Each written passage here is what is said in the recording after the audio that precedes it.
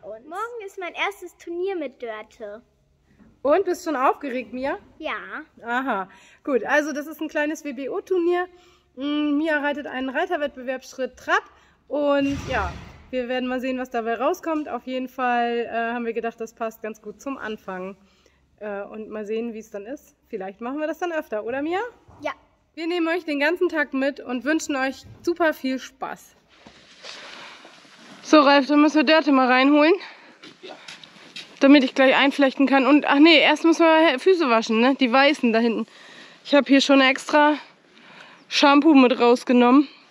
Sogar Schimmelshampoo habe ich noch für unseren Dreckspatz da hinten, wenn wir das mal brauchen. Schimmelshampoo. Ja, machst du ihr mal eben, nimmst du mal und machst mal das Halfter dran. Dann kann ich sie gleich eben waschen. Na, Heino, willst du auch mit? Glaube nicht, ne? Hast aufgegessen? Hast aufgegessen? Ja. Clara, bleib du mal hier. Dörte, Begeisterung sieht aber anders aus, du. Oh, ja. Aber so richtig.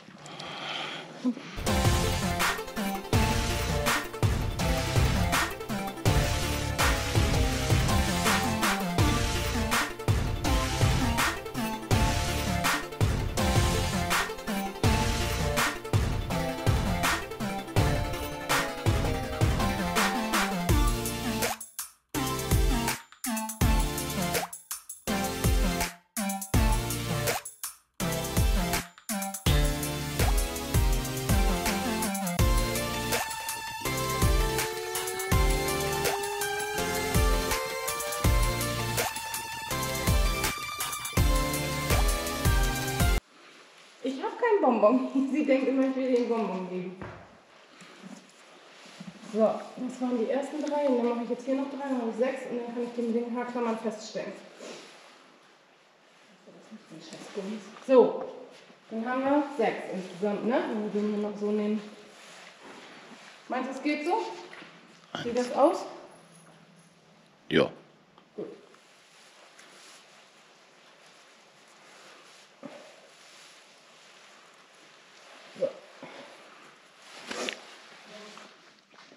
Mit den Knödels hier. ja. Ne? Die Knödel sind eigentlich ganz ordentlich geworden. Dafür, dass ich das sonst nie mache. So, jetzt geht's noch einmal vorne. Das wollte ich dann unter der, Flie äh, unter der Fliegenhaube dann runtergemacht. Das reicht ja. Und den Schweif muss ich gleich auch noch machen. Dann muss ich mir gleich noch eine rote Schleife raussuchen. Irgendwie. So, Mia. Ach, das Halfter, das nehmen wir heute, oder? Was meinst du? Gestern auch schon gesagt. Das haben wir gestern auch schon gesagt. Das hatte ich gestern schon gesagt, dass ich das Ach so, so. möchte. Haare sind fertig, Kind ist angezogen. Dann kann es bald losgehen. Ja, bist du aufgeregt? Hä? Ja. Ziemlich, ne? Ist auch scheiße sowas. Ich war früher auch immer aufgeregt. Aber das schaffst du schon, oder? Weiß ich nicht. Wir werden sehen. Ich habe Dörte schon eingeflochten, ne? Du bist heute immer noch aufgeregt. Nicht, ich war früher. Hast du Dörte fertig geputzt schon? Ja. Und? Wie findest du die so? Gut. Richtig eingeflochten oder hättest du es lieber kleiner gehabt? Nee, sieht gut aus. Na, du scheinst ja echt begeistert zu sein. Bist doch aufgeregt und knaddelig, ne? Ja. Auto haben wir gestern schon gepackt. Ähm, allerdings habe ich die Ausbinder vergessen. Da muss ich gleich noch einmal zurückgehen. Und die neue Schabracke ist natürlich am Start. Da sind wir schon ganz gespannt, wie das aussieht, wenn Dörte das drauf hat. Ich muss jetzt erstmal die Ausbinder noch schnell sauber machen. Die sind mir noch pottendreckig. Die haben wir gestern total vergessen. Oh Mann. So, ich habe jetzt erstmal so eine rote Schleife für Dörte gebastelt. Ist leider ein wenig weihnachtlich, aber ich hoffe, das sieht man nicht so. äh, nicht, dass Dörte nachher aussieht wie ein Tannenbaum. Ja, weil Dörte ja nicht so gerne mag, wenn ähm, andere Pferde hinter ihr sind und dann vielleicht auch mal tritt. Und ich versuche mir ans Ende der Abteilung setzen zu lassen. Hey Dirty, du siehst richtig gut aus. Mit deinem schicken Halfter. Ja, richtig toll. Fein. Das sieht auch schick aus. Das sieht richtig gut aus. Und das ist jetzt nur hier drin, ne? Richtig süß. Ich glaube, das andere wäre nicht so schön. Nee. Das sieht echt richtig klasse aus mit Dörte. Ja. So. Halt mal an, dann nehme ich sie jetzt. Hallo. Mit deiner.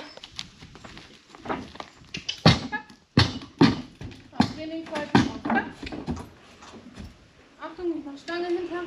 Kannst du noch einen Schritt vor mit ihr?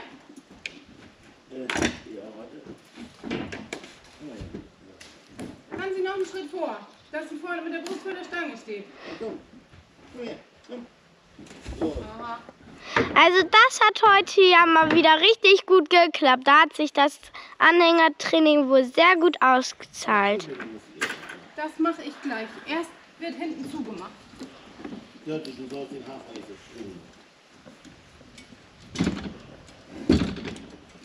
Und dann kann es gleich auch bald schon Hauptsache der losgehen. Hafer, ne? Ja, das ist alles gut. Schön nach vorne rein hier. Ich hätte die Stange noch viel weit, noch hinten, hinten noch weiter hinmachen müssen eigentlich. So, wir sind unterwegs, ne Mia? Jetzt geht's los. Ja, Zeig mal, was macht Dörte auf dem Anhänger? Dörte ist natürlich. Alles wie immer, ne? Bei Dörte. Ja. Achtung, Huckel. Schon ganz gut aus hier mit uns. Ja.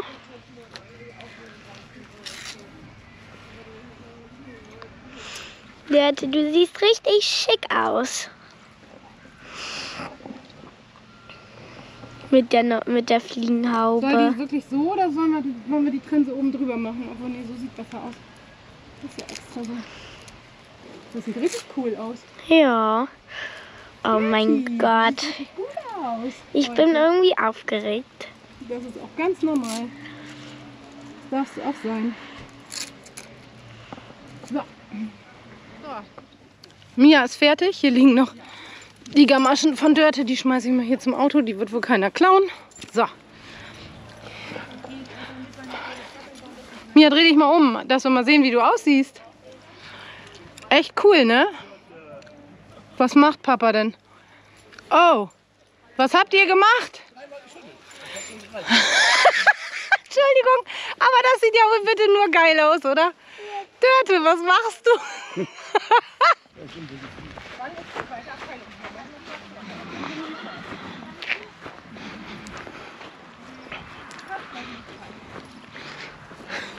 Hallo.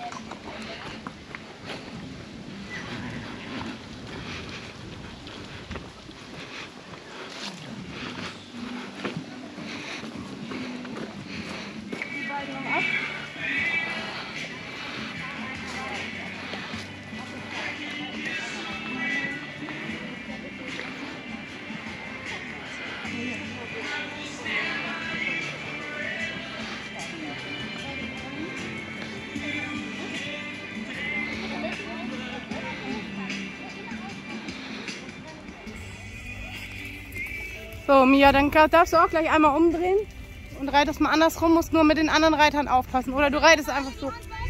Genau.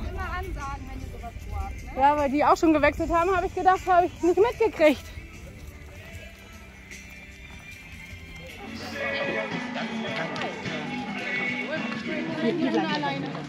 Weiter. Ja. Rum. Das ist eine Ziege, Mal ey. Ruhe da oben hin und gehst da oben auf die rechte So, Hand. Das weiter. Mädchen hat auch eine Schleife. Sehr gut. Komm. Auch eine Schleife. Und der hat auch eine Schleife. Und Sehr gut, Mia. Weiter. Super. Schön weiter. So, stell die Hände schön hin. Ellenbogen an Körper. Ja, das ist ein bisschen schwierig jetzt mit dir. Reit weiter. Du hast dich jetzt schon ein paar Mal durchgesetzt. Reit weiter. Sehr gut. Guck mal. So, und jetzt kannst du auch einen Schritt durchparieren. Aha, guck mal, dann geht das Pony auch vorwärts. Jawohl. Sehr gut. Und so reitest du noch eine Runde und dann machst du. Komm, Gerte. Beine. Und weiter. Komm.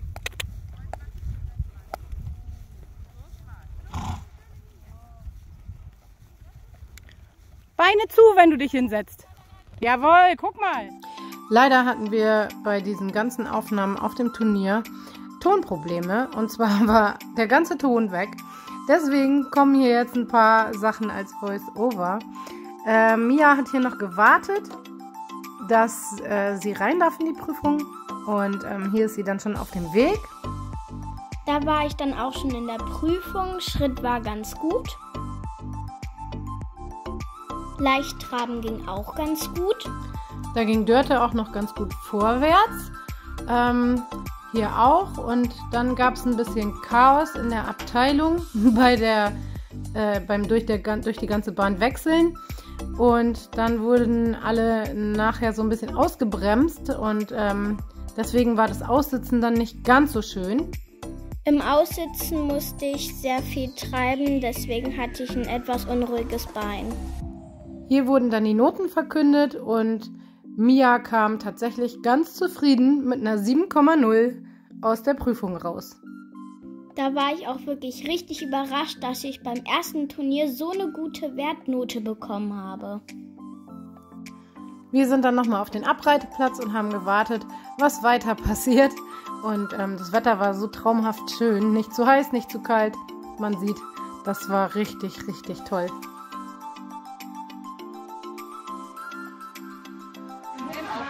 Da ging es dann rein zur Siegerehrung. Sechster Platz. Sogar wirklich sechster Platz, weil 7,0 war dann die nächste.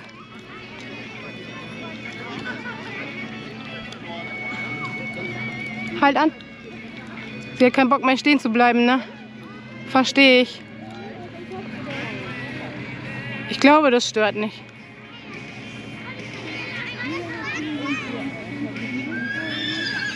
Lob sie mal. Nicht immer enger nehmen, sondern einfach mal loben. Sehr gut.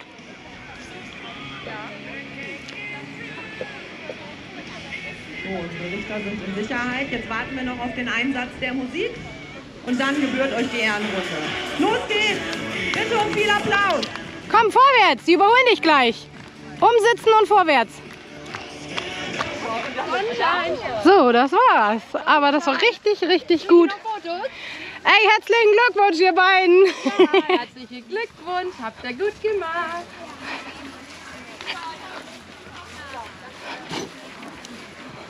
Dich kennen wir schon vom anderen YouTube-Video. ja. Stell dich mal so hin, dass ich noch mal ein Foto machen kann. Mit eurem Schleifchen. Vielleicht auch da vor die Bäume. Aber nee, warte, warte, warte. Das ist schon ganz gut. Kannst du mal ein Video machen, wenn ich sagen kann? Ich habe das Video noch an. Du kannst was sagen.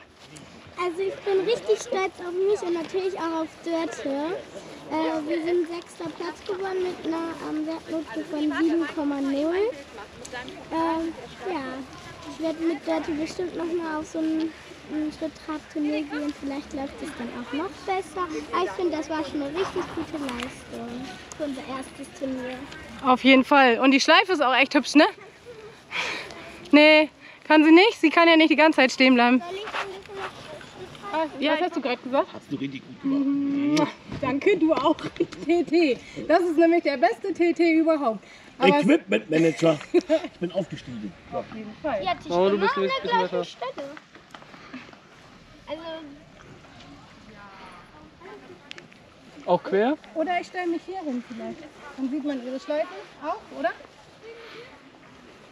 Dörte. Alles gut. Quer auch? Warte.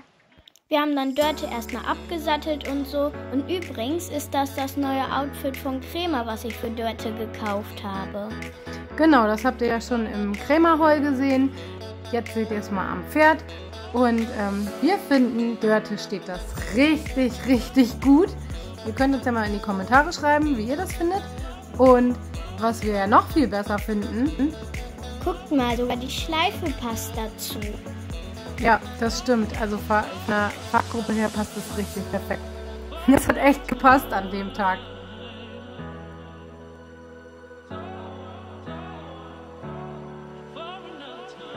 Dann haben wir Dörte verladen.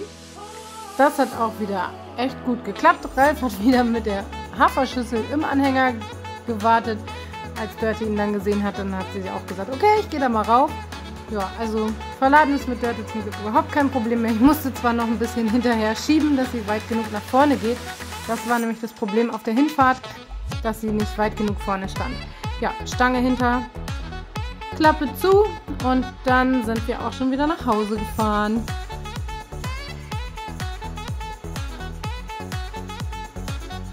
Auf dem Weg nach Hause hat Dörte wieder gefressen, so wie immer. Und ich musste auch erstmal frühstücken, konnte ich nämlich vor Aufregen davor nicht.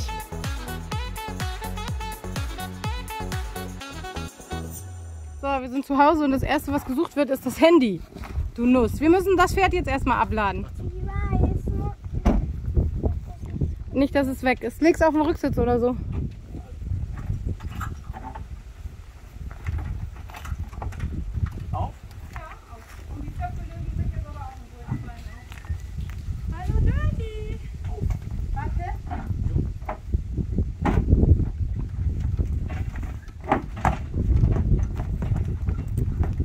Feines Mädchen, bist du wieder zu Hause? Hä? Bist du wieder zu Hause? Es wird auch Zeit, ne? Der Sam, der begrüßt dich gleich bestimmt. Feine. Hey, hallo, das machen wir nicht. Wir wollten jetzt gerade ein bisschen durch die Gegend ziehen.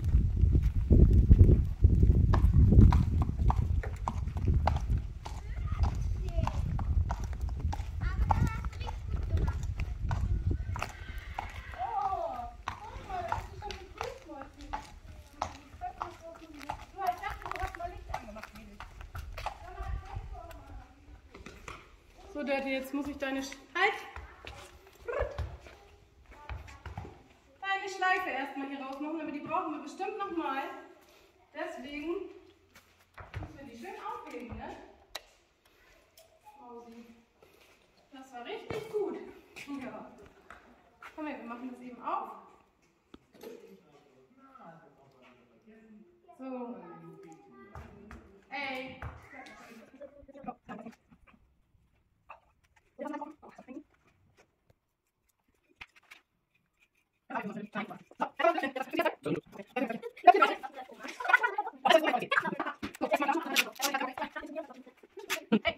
So, jetzt gucken wir mal, was die Jungs hier. Das Auto muss noch ausgeräumt werden. Was die Jungs hier machen. Dörte freut sich, die Jungs bestimmt auch. Pass mal auf. Hallo. Jetzt, Oh, Heino, deine Freundin kommt wieder. jetzt ein bisschen langsam. Wollen wir sie hier reinlassen, Mia? Das ist, glaube ich, einfacher.